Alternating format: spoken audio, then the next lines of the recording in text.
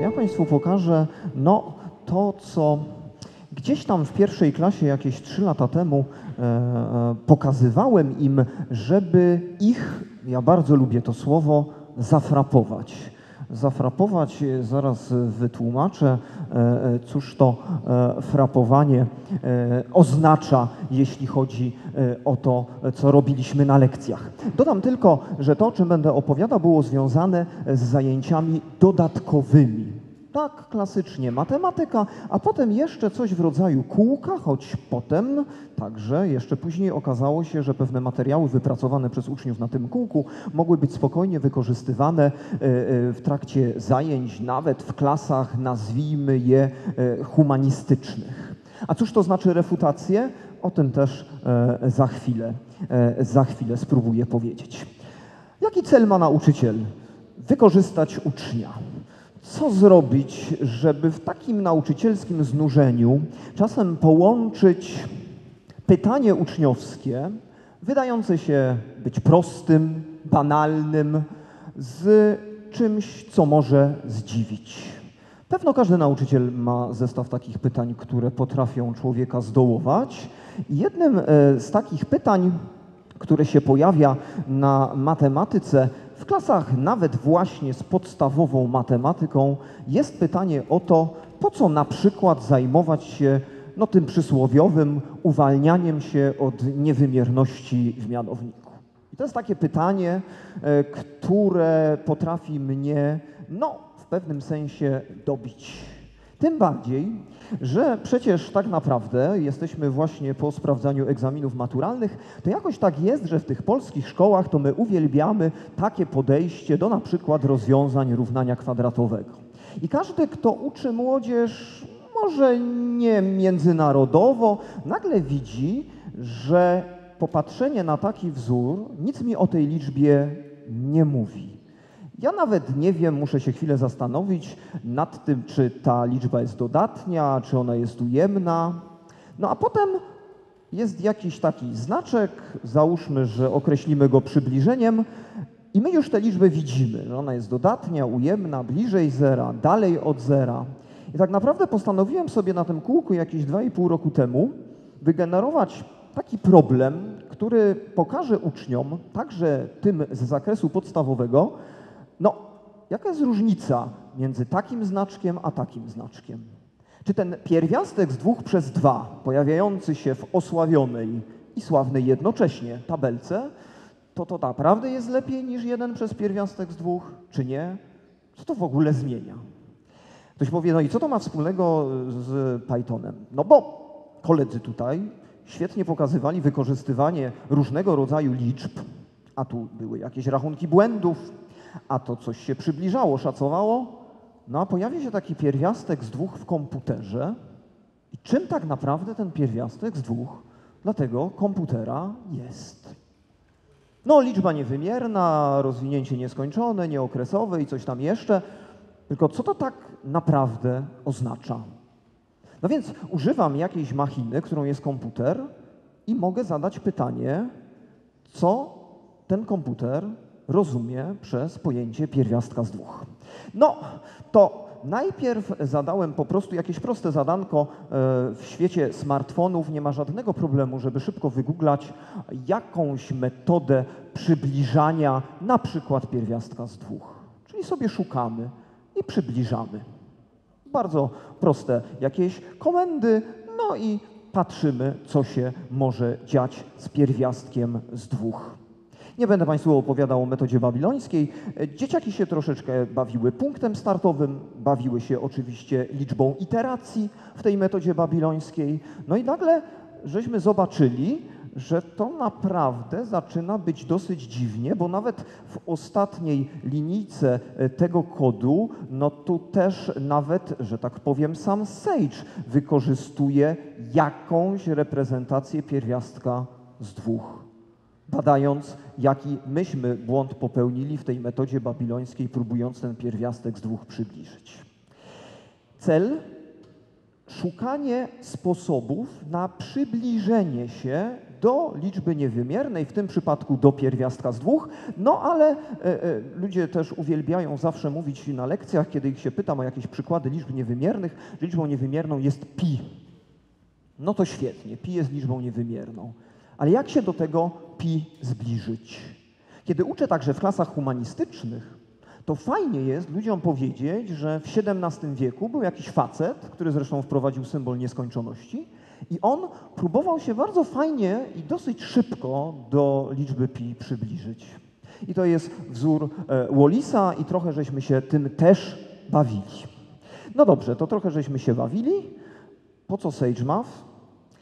Bo jak mówiłem o przybliżaniu się do pierwiastka z dwóch, o przybliżaniu się do pi, to możemy zadać pytanie o szybkość takiego przybliżania się. Jako uczeń mogę wyciągnąć na lekcji smartfona, jako uczeń mogę wyciągnąć na lekcji kalkulator prosty. Na obu tych urządzeniach mogę, używając symbolu pierwiastka, chcieć uzyskać no, jakiś wynik, pierwiastek z dwóch. Jeśli na jednym urządzeniu, na 16 miejscu po przecinku pojawia się co innego niż na drugim urządzeniu, to jest pytanie, a które urządzenie tak naprawdę jest lepsze? Co to znaczy lepsze? To może być świetne wprowadzenie w ogóle do rachunku błędów, do tego, jak szybko pewne metody, użyję takiego nieformalnego sformułowania, zbiegają się do jakiegoś satysfakcjonującego nas wyniku. Trochę inaczej jest z pierwiastkiem z dwóch, trochę inaczej jest z liczbą pi. I co to tak naprawdę oznacza przybliżyć się do jakiejś liczby niewymiernej? Jaki efekt? No, nagle się okazało, że my tę liczbę wymierną, to, niewymierną to właściwie traktujemy jako obrazek, a wszystkie urządzenia, którymi dysponujemy, to potrafią się tylko do tego obrazka zbliżyć. E, z dowolnie zadaną dokładnością, ale tylko zbliżyć. W maszynie, która tu stoi na, na stoliku, nawet w połączeniu z cudownym serwerem, jak powiedziano na Śląsku, nie ma tego pierwiastka z dwóch ja mogę wywołać przybliżenie tego pierwiastka z dwóch. No dobrze. No tylko kogo tak naprawdę interesuje dyskusja o tym, co się dzieje na trzynastym miejscu po przecinku w rozwinięciu pierwiastka z dwóch albo liczby pi. No więc kiedyś zobaczyłem pewien problem geometryczny, który najczęściej ludzi dziwi. Zadanie bardzo proste z geometrii. Pewien, pewien sześcian wpisujemy walec i tam, nie matematycznie rzecz ujmując, w rogu może się zmieścić pewna kuleczka. Zadanie polega na tym, żeby policzyć objętość maksymalnej takiej kuleczki, która tam w ten róg, że tak powiem, wchodzi. No i świetnie. Okazuje się to być bardzo prostym zadaniem z geometrii. Nie będziemy wchodzić w rachuneczki. W tych rachunkach których celem jest obliczenie objętości tej zielonej kulki tutaj, pojawia się pierwiastek z dwóch i nagle pojawiają się wyrażenia, jak Państwo widzą, nazwę je algebraicznymi, bo dla uczniów to naprawdę są wyrażenia algebraiczne, w których można pewne liczby przekształcić na różne sposoby. I tych sposobów wygenerowałem w tym problemie, w tym problemie pięć. Tutaj w ostatniej linijce mamy tą samą liczbę zapisaną na pięć sposobów. Przy okazji można poćwiczyć wzory skróconego mnożenia. Tu są różnego rodzaju przekształcenia. I tak naprawdę tutaj na dole od W1 do W5 mamy pięć reprezentacji tej samej liczby. Jak Państwo widzą, w każdej z tych reprezentacji występuje ten pierwiastek z dwóch. I teraz zaczynamy zabawę na lekcji, która ma uczniów ostrzec, uważaj z przybliżeniami. Otóż uruchamiamy maszynę i do każdej z tych postaci wstawiamy przybliżenie pierwiastka z dwóch. Jeszcze raz przypomnę, że wszystkie te liczby są równe. No ale jak będziemy stawiać przybliżenie, to może nie. I teraz okazuje się, że kiedy za pierwiastek z dwóch przyjmiemy wartość 1,41, to te wszystkie liczby, które tu przed chwilą były wyświetlone, które przypomnę są równe, przy tych przybliżeniach równe oczywiście być przestają, ale proszę bardzo popatrzeć, jak mocno te liczby się od siebie różnią. Powtarzam, co zrobiłem. Do wzorów, które są tak naprawdę reprezentacją jednej i tej samej liczby, za każde wystąpienie pierwiastka z dwóch wstawiłem to przybliżenie, które jest dla uczniów no, oczywiste. Jak się zapytam, ile wynosi pierwiastek z dwóch, to przeciętna osoba powie 1,41. No to proszę bardzo, mamy 1,41 i mamy pewne e, różnice. I teraz tak naprawdę e, warto też pewne rzeczy zobrazować. Tutaj mamy pięć różnych krzywych, te krzywe to wykresy funkcji, w których tak naprawdę, powiem to po chłopsku, ten pierwiastek z dwóch zastąpiłem zmienną x. Proszę popatrzeć, co się dzieje z wartością tych funkcji. Ona oczywiście, ta wartość dla każdej z tych funkcji jest taka sama dla pierwiastka z dwóch, ale proszę popatrzeć, co dzieje się wcale nie bardzo odlegle od pierwiastka z dwóch. Okazuje się, że nawet wstawienie przybliżenia pierwiastka z dwóch z dokładnością, niech sobie będzie do pięciu, do pięciu miejsc po przecinku, daje bardzo różne wyniki. Ale za chwilę wrócę do tej kulki, bo na razie pojawiły się jakieś dziwaczne liczby, a myśmy mieli policzyć objętość jakiejś kulki. I teraz, proszę Państwa, e, tutaj są wstawione te liczby które miały różne reprezentacje. Przypomnę, że było pięć postaci. Do wzoru, który liczy objętość tej zielonej kulki.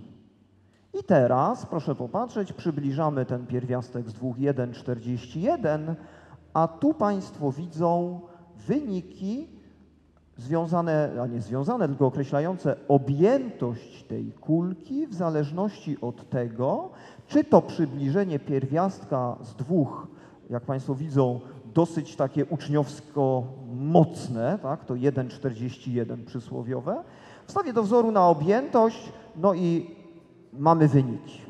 Kiedy pierwszy raz liczyłem to zadanie, to myślałem, że się pomyliłem, bo y, wyniki są z różnych światów tak naprawdę.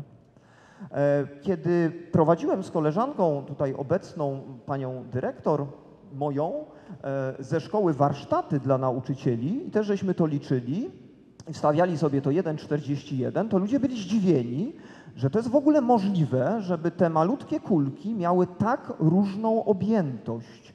Gdzie tkwi błąd? To nie może być tak, że przybliżam sobie cudzysłów tak dokładnie pierwiastek z dwóch i mamy takie różnice e, w wynikach. A co może zrobić uczeń?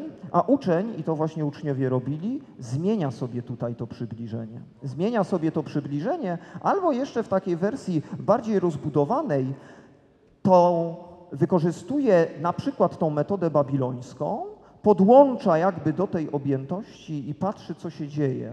Tak? Kiedy tą metodę babilońską uruchomi 15 iteracji, 100 iteracji, 1000 iteracji, jakie będzie tutaj dostawał wyniki. Ale wspomniałem o nauczycielach, dla których prowadziliśmy warsztaty.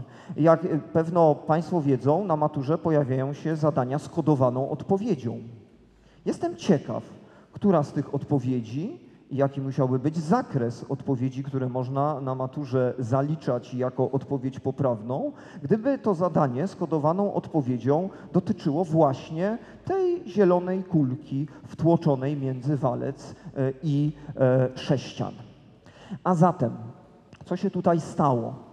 Tak naprawdę w tytule tego mojego no, nazwijmy to wystąpienia, pojawiło się słowo, które lubię, słowo refutacje. E, to słowo jest związane z książką Imre Lakatosza, która ukazała się na świecie w 1976 roku, w Polsce ze względów politycznych dopiero w roku 2005. Imre Lakatosz to uczeń e, Popera. to jest świetna książeczka, gorąco ją polecam, która tak naprawdę opisuje proces uczniowskiego proces. Ja mam wrażenie jako że ludzie kojarzą matematykę z pewnością. Jak 2 plus 2 plus 4. Ci matematycy są wszystkiego pewni. Oni, jak już coś powiedzą, to już właściwie nie ma możliwości zrobienia błędu.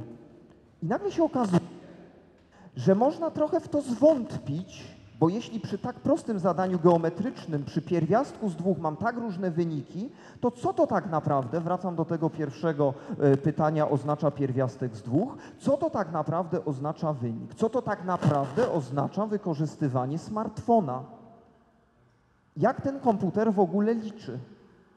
Można zwątpić i poszukiwać informacji, co to na przykład znaczy błąd przybliżenia i czy należy go w ogóle w swoich rachunkach uwzględniać.